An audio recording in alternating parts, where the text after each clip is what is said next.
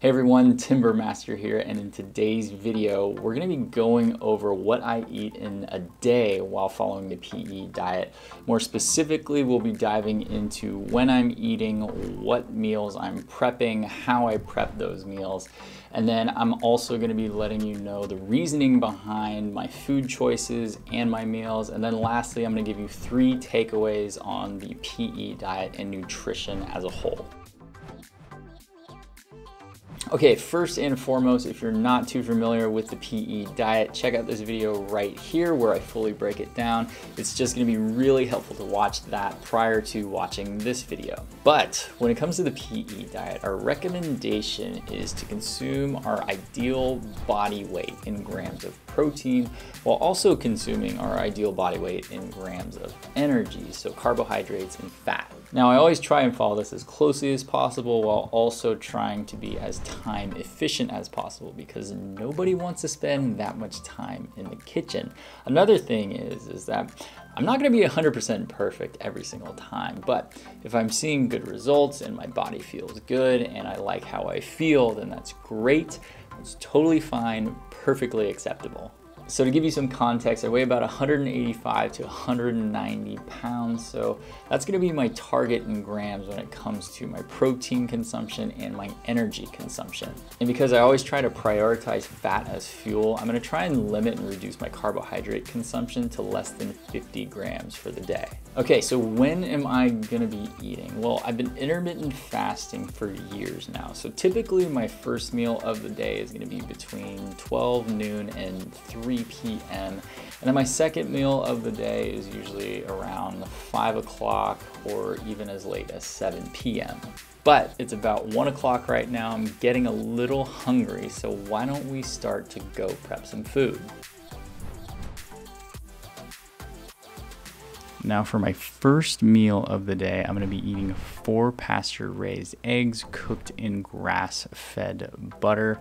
I'm also gonna have two grass-fed beef patties and about five ounces of salad with a little bit of olive oil and apple cider vinegar dressing. I'm gonna have a couple ounces of beef liverwurst and I actually got all of this from Costco except for the beef liverwurst, which I got from US Wellness Meats. All right, let's start frying up some eggs. Now with cooking, I prefer grass-fed butter because it typically contains more fat-soluble vitamins like vitamin A, D, E, and K. Now I'm gonna cook the eggs on medium to low heat to preserve the yolk and make sure that it's fairly runny. And cooking the yolk this way just really helps retain more of the nutrients and keeps the fat from oxidizing as well.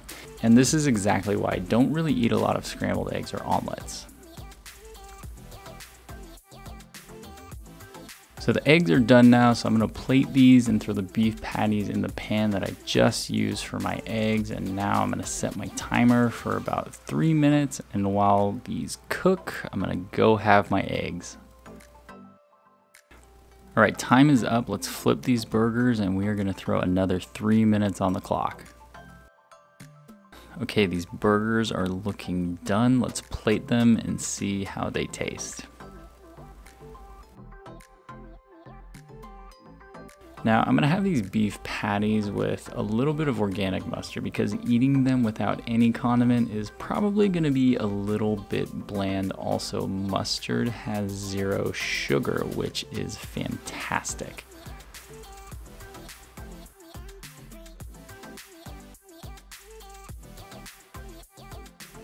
And now that I'm done with the beef patties, I'm gonna go make my salad, which is just gonna be mixed greens. And what I'm gonna do with my salad is just eyeball this and put the salad in a pretty large bowl and try and fill it up past the top. And for the salad dressing, I'm just gonna have about two tablespoons of olive oil, a little bit of apple cider vinegar, and some salt and pepper to taste. Nothing too fancy here, just trying to keep this salad dressing nice, simple, and quick. Okay, let's keep eating. And lastly, I'm just gonna finish off my meal with about two ounces of beef liverwurst. So I know that this just does not look appetizing at all, but Organ meat is so nutritious. It's so good for us. And to be honest, I don't eat it because of the flavor and how good it tastes. It, it doesn't taste incredible, but it's also actually not that bad. But I eat it because of how dense it is from a nutritional perspective. And it's so healthy, it's so good for us. And it's something that we as humans should probably be eating a little bit more of. I would say that is some pretty gross B-roll though. Okay, so that was meal number one. And to be honest, this was probably the fifth or sixth time that I've ever properly analyzed my food. And I'm gonna tell you exactly why at the end of this video, but when it comes to protein, I had 100 grams. When it comes to fat, I had 118 grams. Carbs, I only had 10 grams. Fiber was just 5 grams, and that came out to be a total PE ratio of 0.81. Now before we jump into meal number two, please go ahead and comment. Let me know what you thought of my first meal and if you thought it was even enough food for me as well. Also, please like the video and subscribe to the channel if you're liking and enjoying what you're seeing right now. That would be greatly appreciated. Now for dinner, meal number two, I'm gonna have about 10 ounces of grass-fed steak, about a half a pound of broccoli cooked with a little bit of grass-fed butter. And then lastly, I'm gonna have a couple more ounces of that delicious beef liverwurst. All right, it's five o'clock now, time to start cooking dinner. This meal is gonna be a little bit more tasty than meal number one. All right, let's start seasoning this delicious looking piece of meat with a little salt, a little pepper, and we're gonna let it sit for about 40 to 45 minutes.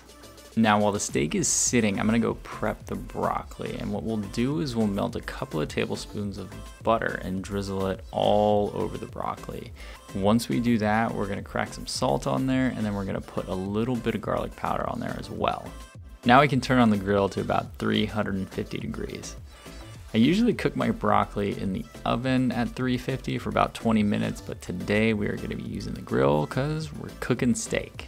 Okay, now that the grill is all fired up and we're sitting right at about 350 degrees, let's throw the broccoli on there for about 20 minutes. So we got about seven minutes left for the broccoli. So I'm gonna throw the steak on now just so we can time everything perfectly. Now we're gonna cook this piece of steak for about three minutes on each side, so let's go ahead and set our timer.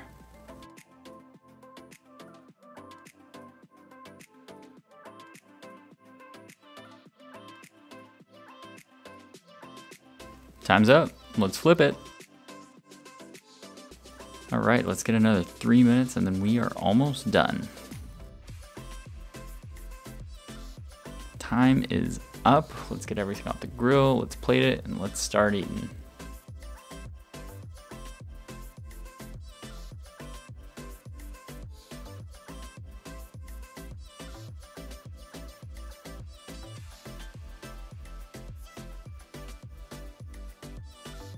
And last but not least, we cannot forget about that oh so healthy and delicious beef liverwurst.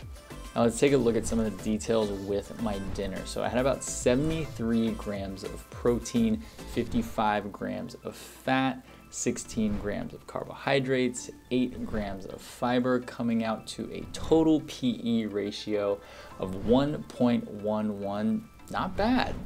And now for my daily total. So I had about 173 grams of protein, 173 grams of fat, about 26 grams of carbohydrates and 13 grams of fiber, coming to a grand total PE ratio of 0.92. And I am not mad about this at all. So here's the thing, I didn't get to my 185 to 190 grams of protein for the day, and I also didn't get that perfect one-to-one -one ratio, but I do feel really good about this because I have been very full and satiated throughout the entire day, and my energy has just been really stable and great as well.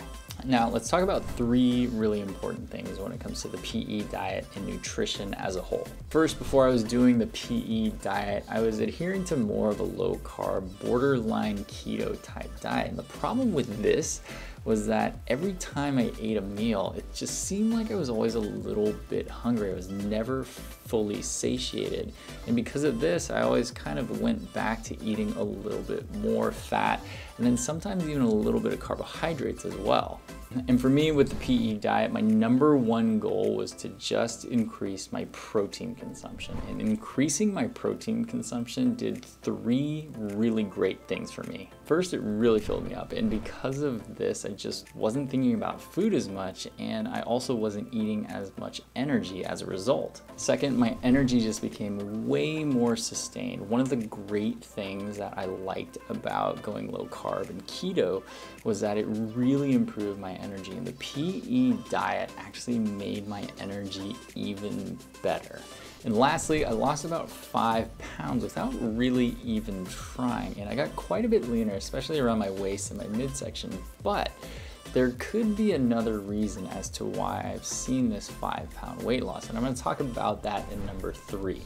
Now, number two, I'm not sure if you noticed, but I didn't accurately measure or weigh anything. And why is that? Well, I really only care about if my food is healthy, if it makes me really full and satiated, and if it's not too time consuming. And then lastly, if it gives me energy or if it actually creates fatigue and causes me to have brain fog. And then I really want to try to avoid those types of food. And I already live a stressful life, and doing something like meticulously counting calories and counting grams on a daily basis is only going to lead to more stress. It's going to take more time, and it's just something that I wouldn't personally want to develop and turn into a habit. And I actually wouldn't recommend this to most people as well. But if you have no idea about your nutrition and what you're currently eating or what your macros are looking like, it's okay to try it for a couple of days, figure out your baseline, and get a good idea of how you can make the appropriate changes moving forward. But I just wouldn't recommend doing it long term. So, the easiest thing to do? Well, just increase your protein, reduce your carbohydrates, and fill the rest in with fat, and that's it. And lastly, number three, I pretty much just ate all whole foods. The most processed food that I had was the organic grass-fed beef liverwurst, which contains a variety of different organ meats and a couple of different spices, but it's probably one of the most healthy processed foods that someone can have. Now, eating a whole foods diet is going to be really, really important because it's going to prevent us from eating the three types of food that we absolutely need to avoid if we want to lose weight, which are high amounts of sugar, refined carbohydrates, and refined oils or vegetable oils. And since I started the PE diet, I simultaneously made the decision to really try and reduce and almost eliminate my consumption of vegetable oils. And I really think it's this combination of both the PE diet and vegetable oil reduction that drove my little bit of weight loss without actually having to put a lot of effort in. But if you can do the PE diet without overcomplicating things, this is one of the absolute best nutrition plans and strategies. I highly, highly recommend it.